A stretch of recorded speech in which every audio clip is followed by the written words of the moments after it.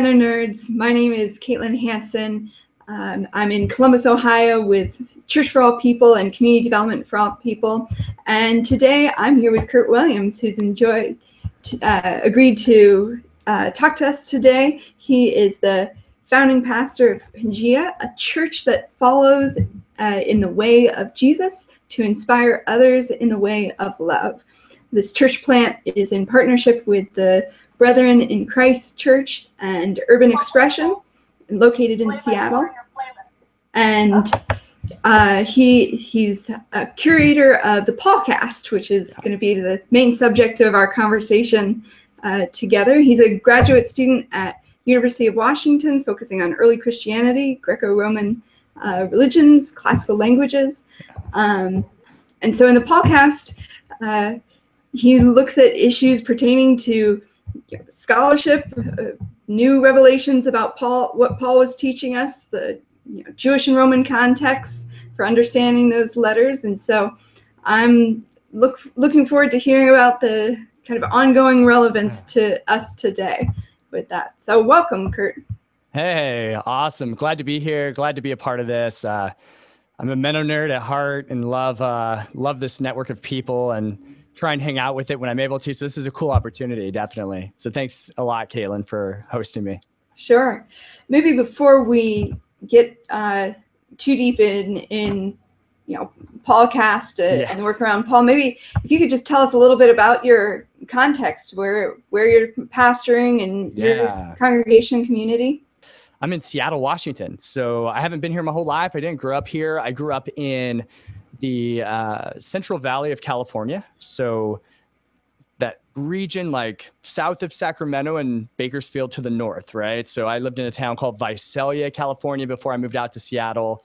Spent a lot of time in Fresno uh, during my 20s. And uh, in 2013, we relocated uh, with the support of the Brethren in Christ, which is one of our Mennonite Anabaptist uh, denominations. And packed it up, moved a thousand miles north, and ended up in Seattle. We're in the Ballard neighborhood of Seattle, which is kind of uh yeah, it's growing like crazy, gentrifying too much. Uh, there's uh yeah, it's an interesting, cool context, but there's definitely some challenges here. Homelessness is on the rise, and so we're um, in partnership with a church called St. Luke's Episcopal Church. We all meet we meet at the same campus in two different spaces. And uh, and so um, they really have led the way in our neighborhood when it comes to feeding the poor for about 28 years. And so we get to help out with that in small ways um, but they're when we started partnering about a year ago they were feeding about 130 140 folks every morning. And now uh, the last numbers I've heard are over 200 a morning. So it's uh, definitely an interesting context where rich and poor are sort of um, in tension with each other, I think, in a lot of ways. Um, but you know, beyond that, it is your ultimate hipster neighborhood in so many ways, and you know, I love that. Um, I'm not that hip, but there are definitely some uh, hip people here. There's music scene. There's restaurants that are way too cool. They try too hard. You know, all that stuff.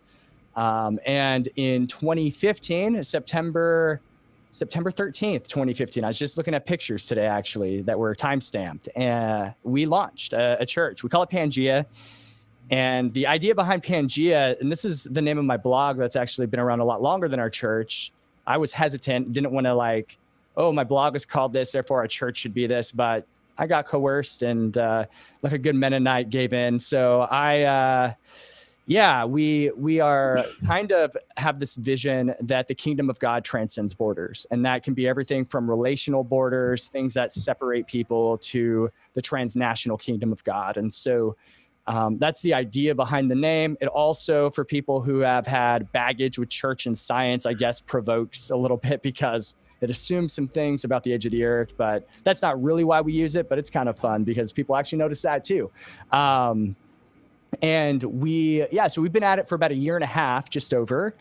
And uh, we have a great little community of faith and uh, we're really trying to say um, what if jesus is for this city? What if jesus is for um, the people of the neighborhoods we represent? Uh, Ballard, Queen Anne, kind of an extended area of North Seattle.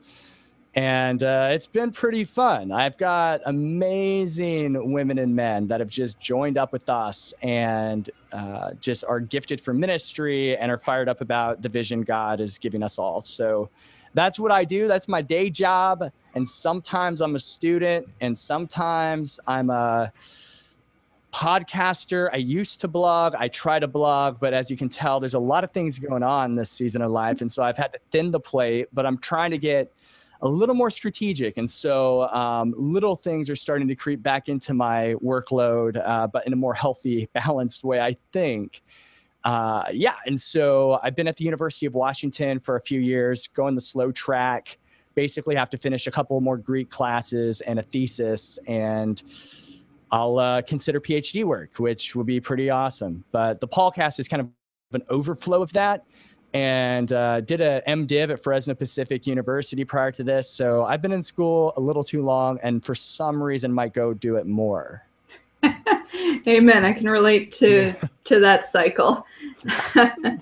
um, if we can stay here for just a little bit, I'm I'm intrigued with this idea that you know church that that crosses borders, you know, Pangea, no borders, all that all that stuff. And so, what yeah. does that mean for our um, maybe not even ge- geographic borders, but our cultural borders, our borders of, um, yeah, of, yeah. of economics. And you just mentioned some of the the dynamics around your church. That on the yeah. one hand, maybe some gentrification, but also a lot of poverty. Yeah. What does that look like for you all? Yeah, and it's an ongoing conversation. It's definitely a challenge, right? When you're a, a brand new expression of a, a, tiny sliver of God's kingdom, you know, a little church, you're, we're asking lots of questions. And so um, when it comes to economics and those sorts of things, I, I think uh, one of the cool things is that we have traditionally they're called small groups or missional communities. We have those. And um, every we call them villages. Every village, um, they really do a few things together. They serve together. They um, talk about scripture together, and they pray together. And um, so, a um, couple examples: our group in Queen Anne every week has um, a team that goes to a tent city and provides a meal and hangs out and is building relationships with folks in this tent city. And um, our uh, group I'm in is uh, partnered with St. Luke's in their feeding ministry, and uh, we do meal prep the night before so that when the volunteers come in, they have less to do and they can be more relationally engaged. So we do some of the behind the scenes kind of stuff. Uh, we've done some international stuff, refugees and that kind of focus, but we're always asking the question, and we're definitely like asking, what does it mean to be peacemakers in Seattle and beyond? and uh, we, we're still asking hard questions. You know, we spent last summer in our groups going through the new Jim Crow, recognizing that we're not a very multiracial church uh, because of the part of town we are in. We kind of look like our neighborhood, but a we want to make this a space that's hospitable to anyone, and b we uh, want to advocate alongside and learn from and learn with um, those at the margins. And so uh, so that's that's an example of us saying, okay, so maybe we can't be everything that uh, we care about all at the same time, but can we tap into a few things and uh, as we do so, um, be formed by it, be challenged by it, and allow the way of Jesus to inform how we engage. And so, so that's really been at the heartbeat of a lot of our outwardly focused stuff. Um, we're also very spiritual formation driven as well, so that comes into those groups, but yeah, like uh, we've always had a vision of um, coming alongside folks and saying, okay, what does it look like to crucify your privilege a little bit here? And what would it look like to do that a little more and a little more? So, yeah. And I wonder as churches are engaging, um, as you say, with, not at to or upon yeah. um, hard living communities, yeah. um, particularly, you know, as they're doing good work around direct service, that sort of thing. What does it look like for the church to um, engage in issues with gentrification, even as even as they do direct service? What's the role on that end? Yeah, and, and this is something that I'm learning a lot from uh, Canon Britt, who is the the priest at St. Luke's, where we uh, we're in a good relationship with them. We're obviously autonomous. We're different denominations, have some different theological values, blah blah blah. But uh, for instance, we utilize some of the holy days to do combined services. So so we are intentional in that way. But what I bring them up for is that we're really learning a lot from them. Uh, and, and particularly Canon Britt has been really good at engaging the local community uh, meeting with the governmental leaders in Ballard even and uh, hosting events. And, and so in a lot of ways, we're just kind of riding their coattails. Um, they're really um, helping us learn how to engage. Uh, gentrification is a hard thing. Uh, one of the challenges that you have is we, both churches, but I'll speak for myself, not to put them in any, uh, you know, I don't want to put words in their mouth, but uh, we recognize the way in which Jesus's message is directed as it's good news for the poor, um, but love your neighbor is also anyone, right? And so there's kind of a both and um, sort of a challenge uh, following Jesus. And so in our neighborhood, we've had everything from the whole NIMBY mentality, not in my backyard. Uh, we had a we had a tent city that's structured and good, you know, and uh, has rules and is very safe that went up in our neighborhood and was getting protested, for instance, uh, in progressive Seattle. Wow, right? You don't you don't move from a conservative city and into Seattle and think anyone's going to be mean, but whatever. Um, stereotypes don't really fit. Uh, and and so, but at the same time, we want to ask the question: Okay, so what is driving their fear?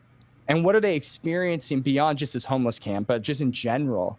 And you're hearing some really hard stories about um, increased drug use at local parks. There's needles and children are trying to play. And, you know, there's these things that are really scaring people. And uh, we want to say, okay, we want to be good neighbors to these folks. We don't always agree with the application of their uh, concern or philosophy of life, but we still want to hold, have them in mind, I guess, while at the same time saying, but look at the folks who are being driven um, into our neighborhood. Some of these folks have been swept out of other parts of Seattle. The cops come in, they say, you can't live here anymore, and they migrate from neighborhood to neighborhood.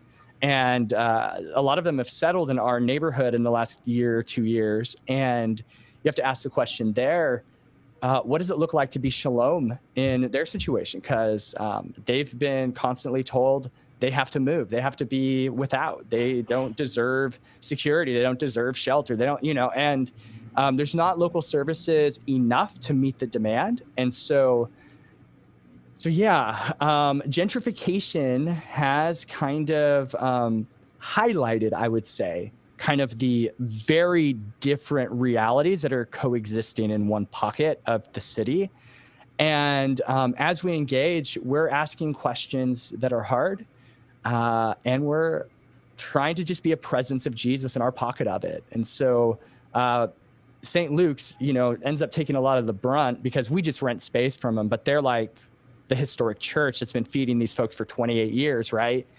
Uh, they get hate mail, you know, from neighbors. Like, you're the reason these poor people live here. And it's like, well, we've been doing this 28 years and you've only been crying about it for two. So don't you think there's some structural stuff that's causing this really? And we're just being a, a voice of mercy, a voice of hope, a voice of daily bread, you know? Um, and so those are the tensions and challenges we start to face. And, uh, you know, there's safety issues. Are I don't know, maybe once a month, someone is outside of our our church campus and uh, is very much intoxicated and sometimes gets violent. You know, so there's been violence in our, right by our church quite a few times, and there's small children coming in and out of our buildings. And so, you know, there's all of these layers to it. But at the end of the day, there is a power and principality that's funding this sort of situation. And these microcosm issues are actually layered with all kinds of other stuff. And so we're trying to be mindful of all the stuff, not just the little things that we feel sort of on the very tip of the iceberg, so to speak. Sure. Yeah. That's funny. It's very familiar to us around here that if yeah. um, we get the message all the time, well, if, if church for all people weren't there, uh, you know, all the poor people would be gone. Yeah, yeah, yeah. uh, which is just entirely not true and Oh, um, and obviously not scriptural from, from Nah. a Christ who said the poor will be with us always. I don't think Yeah. it's our fault that they're still right, here. right, right. Yeah, yeah. No, it's. uh I'm looking. I have a a wooden kind of icon of Jesus carrying a cross right above me. You can't see it, but right as you said that, I looked up and I was like, you know, Jesus looks a lot more like those poor people. And um, if I'm going to worship that man, that God, uh, I need to learn what it is to be formed after someone who identifies with the poor. And yeah, you're absolutely right. Uh, the challenge of gentrification leads to all kinds of assumptions and baggage, and it's totally worth it. Uh, you'll find, at least we found, that there's more people who are compassionate than that are angry, and uh, so there's a voice of hope kind of in the midst of even that. But yeah, it's it's a challenge. Sure. I think you're absolutely right. We we worship a God of the oppressed. We worship a God of the poor. Scripture is written often through that lens, and understanding what's going on in Scripture often requires being side by side with folks that Yeah, know what that's like. You know, I yeah, um, I don't. I pray all the time. Give us this day our ba- daily bread, but I don't believe that. I Yeah, I work. I get a paycheck. I go to the store. I got myself my daily bread. right, right. Um, but I'm in a pew next to someone who knows they aren't. They don't know where tonight's dinner is, is coming from, but absolutely believe that God will provide that. yeah, And and teaching that lesson, um, yeah, absolutely helps us see yeah. see Scripture better, see God better. Yeah, yeah, no, absolutely. I mean, you know, there was a season in which daily bread was manna from the sky. Uh, and then, you know, there's been a long season where that hasn't been true. But uh, we, you and I don't need manna from the sky. We just go buy it, right? But there are a lot of people in this world, a lot of people in our neighborhoods that wish that the bread would fall because they're just that hungry. And, um, you know, Jesus seems to model what to do about that. You take what you have and you start there. And what if it multiplied? You know, what if it became more? And what if it had a bigger impact than we thought? And so that's what we try to do, right? In our pockets of community. And um, yeah, it's a it's a challenging day for sure. Sure. Yeah, we often like the story of loaves and fishes around here and challenge ourselves to think what if those 12 baskets of scraps that they had afterwards, what if that's not just evidence of the miracle, but what if Jesus wanted us to then take those scraps home and provide dinner for family tonight? Uh, and just do the miracle all over again. Um, but instead, it's our human greed and fear Yeah. and perception of scarcity that says that's not enough.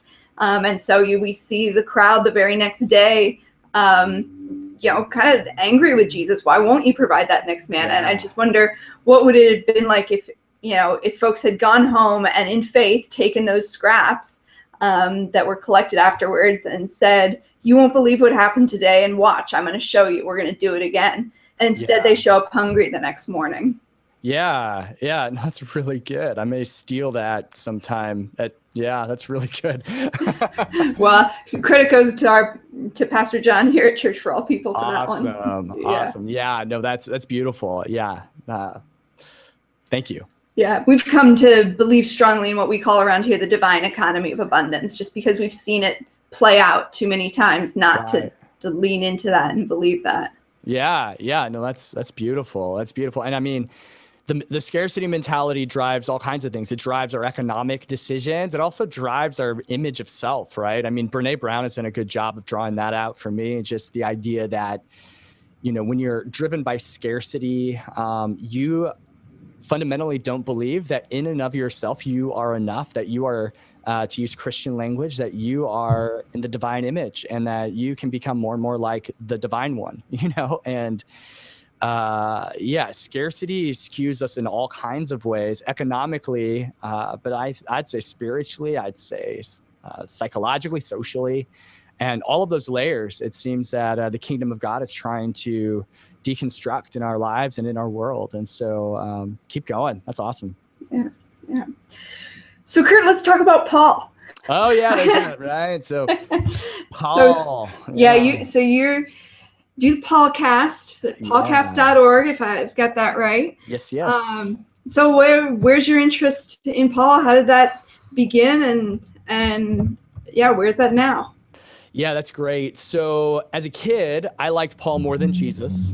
Um, and that is because, um, you know, I think I was just reared in an evangelical culture that was Paul was all the rage, you know, um, and and and I I love the Gospels, of course, like I love the stories, I loved all of that, but Paul was where the meat was, you know. Paul was like, you go there and you read a verse, and then you like pull out all the key words, and then you meditate on those key words, and after 30 minutes, your uh, quiet time is over, and um, man, I just feel so fed, right? Like that was the the con- and, and it's not a bad thing. I, I'm not.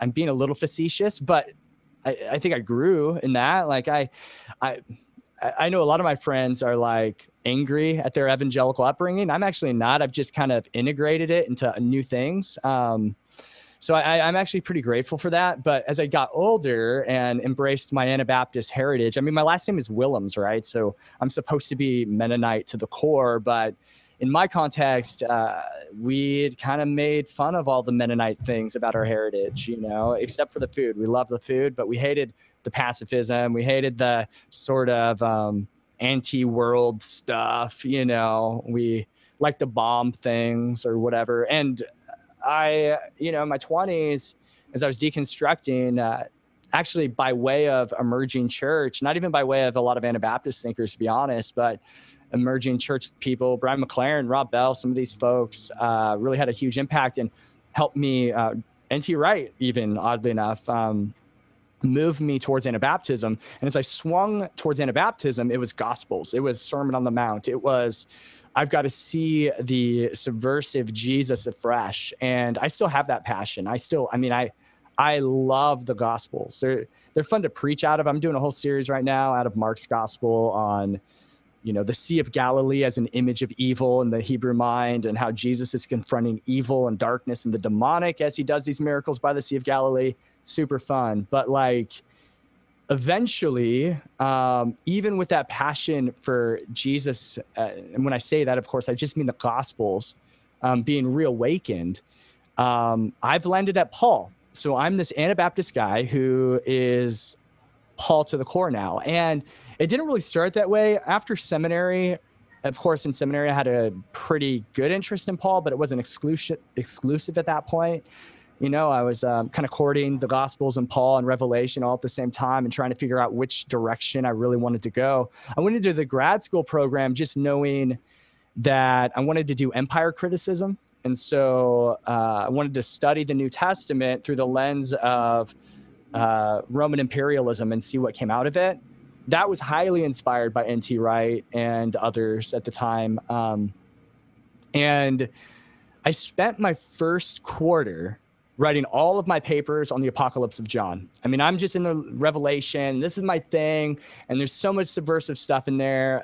I was teaching our, um, is before we launched our church, but our, our little like mini church that we had in our living room for a season before we launched. Like, we were just walking through Revelation because it was my hobby or whatever. And that's the best way to preach, by the way, is just like pick your hobby because it doesn't matter if anyone cares. Just enjoy. That's terrible. Um, but people were into it for a while and it was fun. But um, after that quarter, I was kind of like, whoa, I kind of learned all the stuff I wanted to about Revelation. I guess I could keep going, but I'm going to sit with this. And so I got into the next quarter and I was taking a class with Professor Williams, who oversees me. And it was on early Christian identity. So uh, mostly like um, post Pauline stuff, but we did a, a lecture and a, just one seminar session on Paul and his writings. And I just like woke up and it was like, this is what I need to do. I ended up writing my research paper for that class on Paul and discovering afresh the radical new perspective or the Paul within Judaism viewpoint of Paul and saying, although I have some cognitive dissonance about some of the nuances of this view, I'm pretty compelled by some of its ideas, which of course we can talk about. Um, and so what I ended up doing essentially was uh, saying, okay, I now have a focus. I'm just going to go for it. And so by the time I had gotten through uh, a little over a year of that, I was studying Paul enough to where I was like, I miss blogging but I don't have time to blog about Paul in the way I want to. I just don't. Like blogging takes a lot more thought just because you're like trying to craft paragraphs perfectly and you're trying to make sure that this nuanced thing gets in there and then you're rewriting your draft and you know and and I I'd gotten okay at it and uh, could do it pretty quickly. But honestly with uh, planting a church and by the way, I haven't really mentioned this, but my primary thing that I do is I'm a dad and a husband, and I I adore my family, and um, and so saying I want to be more present in my real relationships, how can I also have a creative outlet that helps people? And um, and so about a year ago, at the end of this month, I said, "All right, well, I wrote this paper on Paul and the history of Pauline studies. What if I made it a series and I just said it?" okay, I can do that. And so I did. I, I read articles. I asked people I knew about podcasting, and I just kind of did it. I that's pretty much how I learn things. I just Google and YouTube and find the best resources available to a guy who has no technological talent and pretend.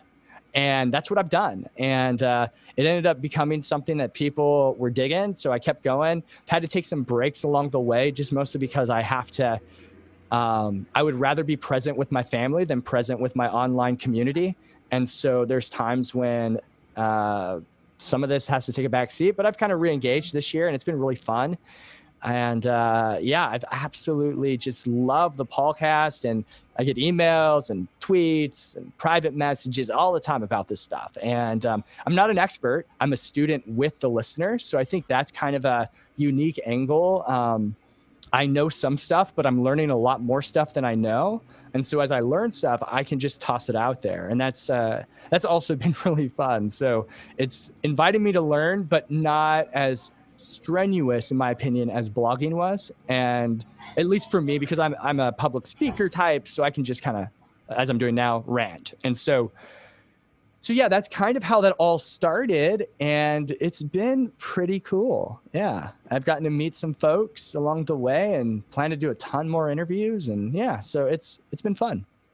So why do you think um, Paul is so captivating for folks for your audience?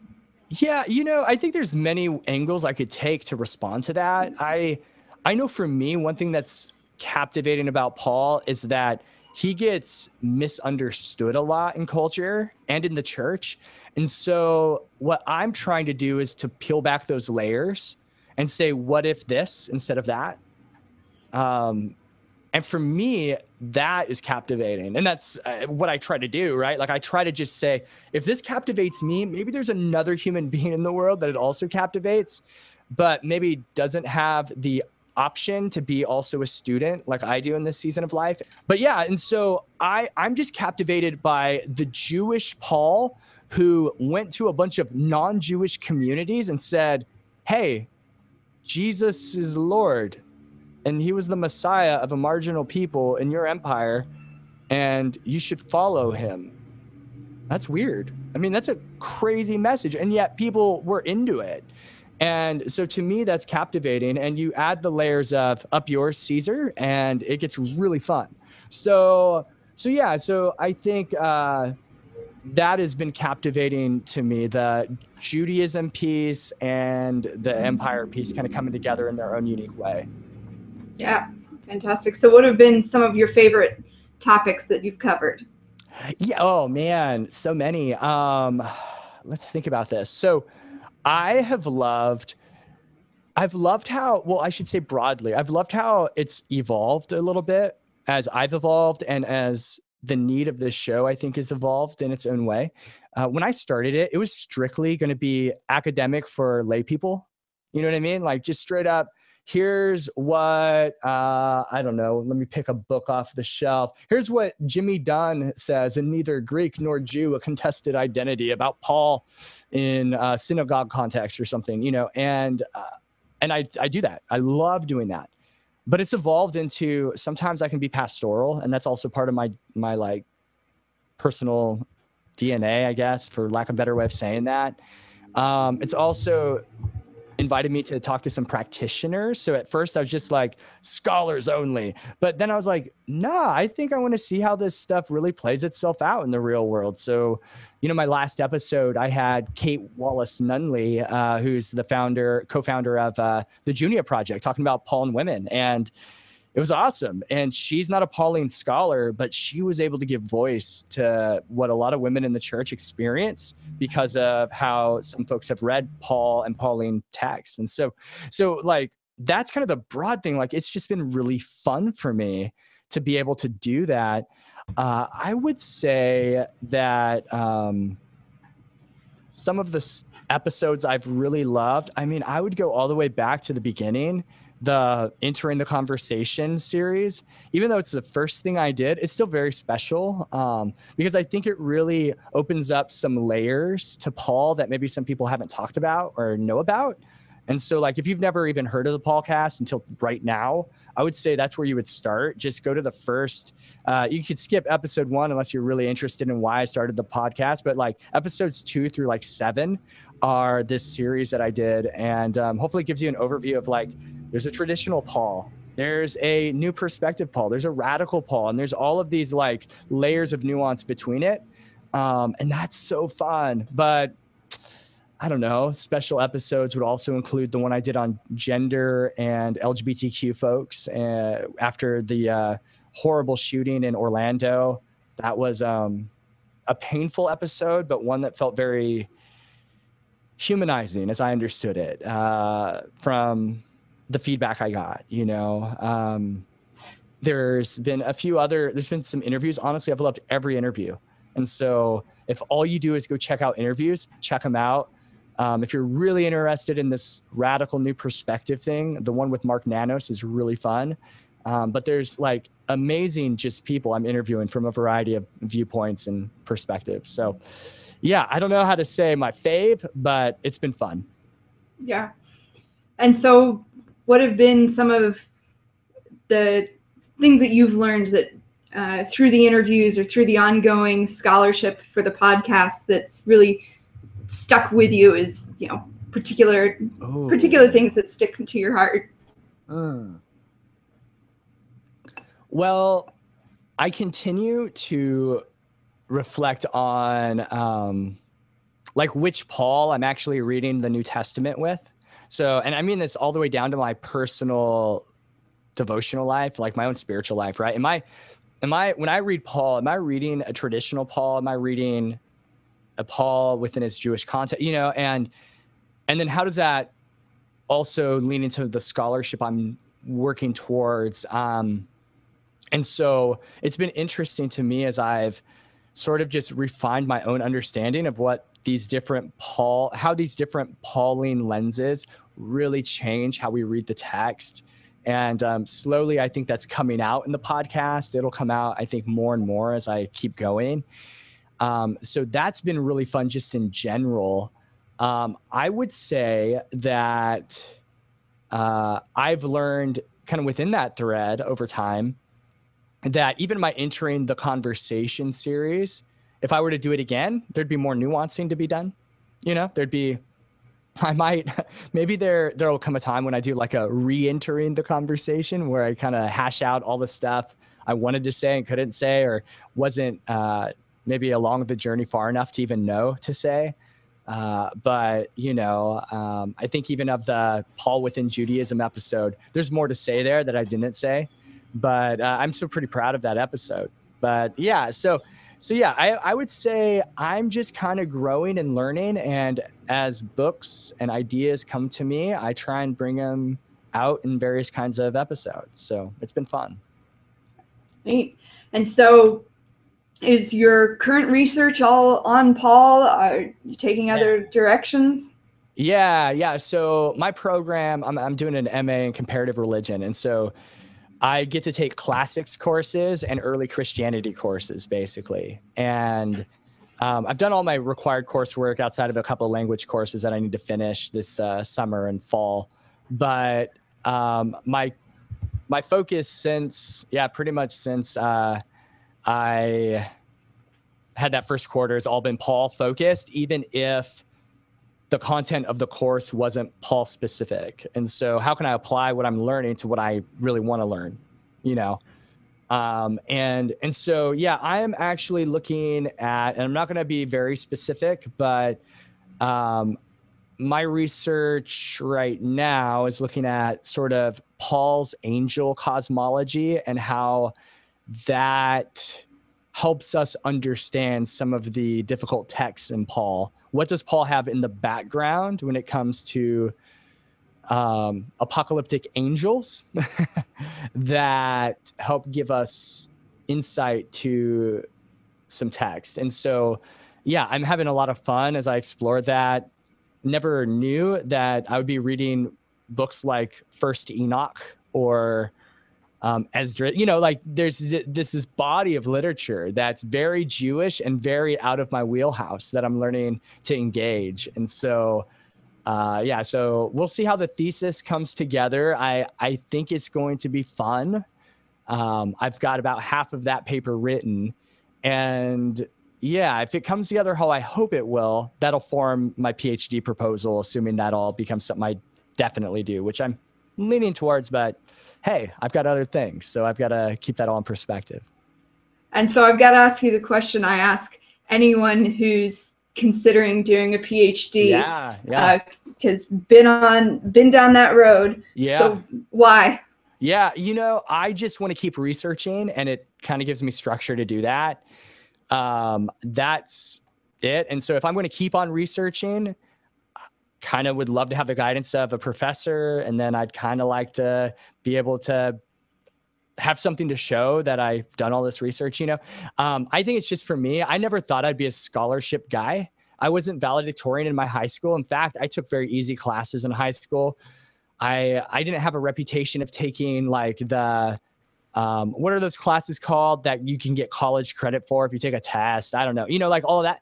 I was just kind of your average, not bad student, but good enough student.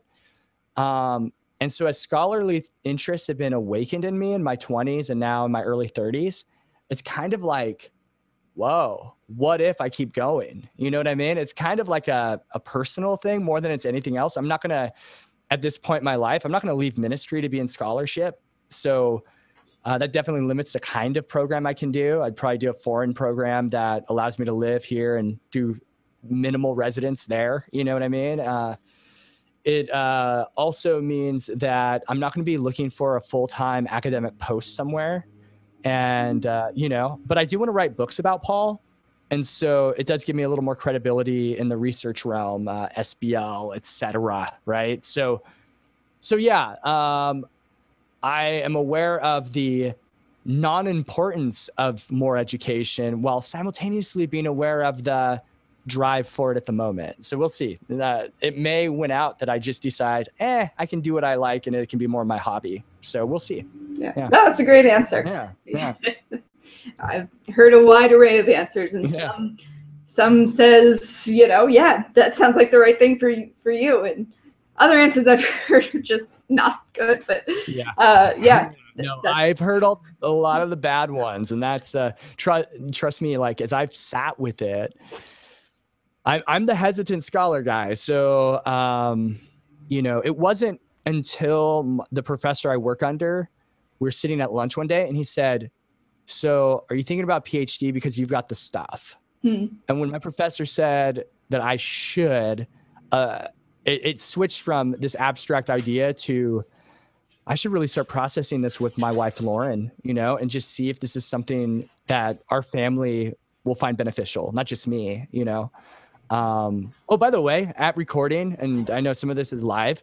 Uh, tomorrow's my 10 year anniversary, so I'm really pumped about that. So, anyway, that's a side note. But uh, St. Patrick's Day 2007 was a good day, but I think tomorrow's even a better day. So it's been a good decade. So, anyway, yeah. That's great. That's yeah, great. Yeah. Congratulations. Yeah, yeah, yeah. It's fun. It's so yeah. fun. So we're about at the end of our time together. Do you have any other things that you want to oh. be sure to get in here? Oh, yeah, yeah. Um, no, definitely. I mean, I I would just encourage people to really challenge what they know. Um, yeah, like what they know of uh, the lenses that they bring to the Bible, you know, especially when it comes to the New Testament. Um, I think that we often don't challenge our lenses enough. And so, um, one great way to do that is to read intros or to get um, acquainted with really good introductions to things. So, so I, I, mentioned my entering the conversation series. That's very like self. Uh, I don't know. I don't know what the right term is. What do you call that when you're like self promoting, right? So it's very self promoting. But I, I would say like if you want something in a similar vein, like the four views of the Apostle Paul, great resource from Zondervan, uh, Michael Bird, who I've had on the podcast, who's just a great human being, edited that volume, and uh, the Mark Nanos chapter alone is worth its weight in gold. I mean, it's so good. Oh, oh yeah, so good. So so you know, like if you just haven't had the chance to challenge your lenses right? I, I just highly recommend that. I mean, think about this. Think about how many times a lot of us have been in church and have preached a sermon against law in favor of grace practically speaking that preaches pretty well in my in my world right like yeah i hate legalism uh, i grew up in a context that said you know, don't dance, drink, and chew, or go with girls who do something like that. Um, you know, like there are all these rules. Like you you can't uh, do certain things because they pull you away from Jesus, but because of the grace of God, even when you do, there's forgiveness. Well, that's a great message in a lot of ways, but it's not the message Paul preached. So what do we do with that? Um, I, I think we can still have that message and also read Paul well. You know, Paul had no problem with the Torah, zero. He liked it. I mean, he was a, in my opinion, Paul was a Jewish Torah observant guy for the rest of his life. He didn't tell people not to circumcise their Jewish kids. I know a lot of people think he did. Uh, he didn't say stop doing this or that thing unless you happen to be a Gentile and then everything got laid out. So, so one of the things that um, here's just one lens shift that may be helpful for listeners, right? Consider this, and uh, again, this is uh, my bias coming out, but if you've ever wondered to yourself, what's with Paul and circumcision? Like, what's that about? Um, I've wrestled with that a little bit on the show, but like, think about like just the times when you've read the New Testament, and like sometimes Paul's like, I know that the law is good. And then other times you're like, wait, Paul just said the law holds us in slavery? What? Right? Like, and you get all of these weird things, especially in Galatians and Romans, you get these like mixed messages. Well, I wonder, like, if you're tracking with me, and maybe there's two people in the world who are, but if you're tracking with me, what if you read Galatians again and you asked yourself about this? Who's the audience? Oh, it's all Gentile. Okay, so let's assume that. Okay. When Paul says something negative to Gentiles about the law, as a good Jew, do you, does it make sense that he's saying this universally or specifically to this community? Okay, let's pretend that he's saying these things to this community. So, could it be that there is a reason why Paul is vehemently against circumcision for Gentiles, uh, and and would make the law out to sound bad news to Gentiles in some ways? Uh, but do we then have to apply that to Jewish folks? And if we don't, what does that really say about Paul's worldview? Well, and uh, you can see how the layers just start stacking on each other because um, then we have to start reading the uh, the letters of Paul differently, and all of a sudden, this idea that Paul hated the Old Testament, or not hated it, but saw it had come to its point and was no longer relevant, and was really there just to show us how bad we are and how we all need a savior you start saying, again, some of that preach is okay, but I don't think that's Paul's message. Paul's message seems to be that the grace of God has opened a door for the Gentiles to be included in the covenant of Israel without having to necessarily uphold all of the markers of inclusion, right? And so this isn't stop following Torah, you Jewish Jesus followers. It's keep following Torah in light of what it means to do so with Jesus as Lord. But those of you who don't have Torah as your guide in the Holy Spirit, follow this Jesus as Gentiles because for Paul, the culmination of history had two points. It was the resurrection of Jesus, where for Paul, the culmination of history is that the new creation order has begun. And because that has happened, the end times are approaching us, not the weird end times, but like the, the good end times. Too much to say there. Uh, the good end time reality that through Jesus, the Gentiles are coming in to worship Israel's God as Gentiles, not as some like combined messy community, although there are elements of that. But Gentiles need to remain Gentiles so that the promises of the prophets can actually be fulfilled. If you tell Gentiles to become Jews so that they can follow Jesus, what are you doing? You're deconstructing the prophetic voice. And if you deconstruct the prophetic voice, then Jesus' significance is minimalized. And so Paul's like, don't circumcise your kids or don't circumcise yourselves, adults.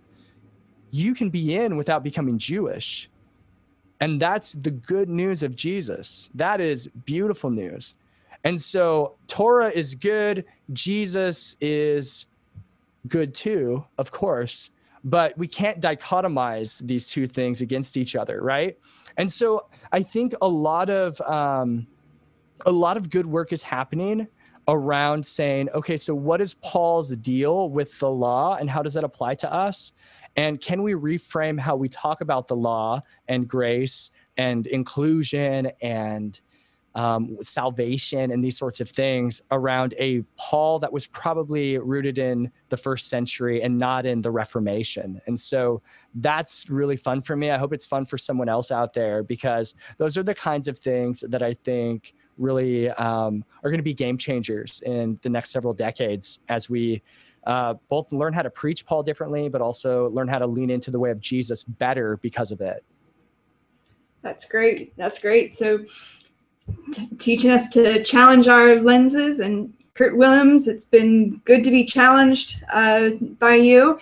Maybe you could close us out just by telling us where we can find uh, oh, your your links, your blogs, podcasts, all that. Where do we yeah, go? Yeah, yeah, that's super kind. Yeah, so if you want to find it all centralized in one place, you can go to kurtwillems.com and it takes you to a landing page with all of that.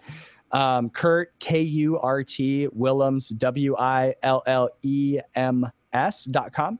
Um, my blog is called the Pangea blog. I'm trying to get better at blogging more often. So, but I have got years of archives. And so have fun if that's uh, something that would be beneficial. Mostly writing about issues pertaining to Anabaptism and living out the kingdom sort of culturally and all that kind of stuff. Um, paulcast.org is where all of my Paulcast stuff is. So go hang out there. Um, you can find all the episodes there, but especially on iTunes. And so there's links there to iTunes or Google for the podcast feed. And I'm on Twitter uh, slash Kurt Willems, Facebook slash Kurt Willems, blah, blah, blah, blah, blah. So I'm all over the place online. I think if you just type my name into Google, you'll find me. But uh, yeah, don't be strangers. I love hanging online, engaging, hearing what's going on.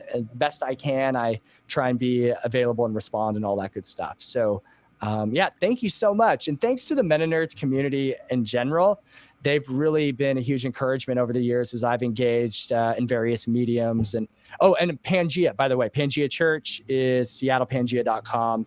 Come hang out with us on a Sunday morning if you're in Seattle. We'd love to have you. That's great, Kurt. Thanks so much. Appreciate it. Hey, thank you so much, Katelin. I hope you have a great rest of your night. You too.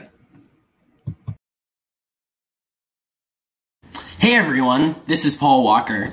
If you like what you just heard, be sure to check out more of what we have to offer at mennonerds.com. It's the hub for all things MennoNerds. From there, you can learn more about these podcasts, syndicated blogs from people all over the world, books authored by some of our members, and a host of other exciting free resources for you and your church. Now, there's one last thing. Uh, what we do costs a bit of money, and we're always doing it on a volunteer basis. We have people that are committed to making this happen, but we could use more people.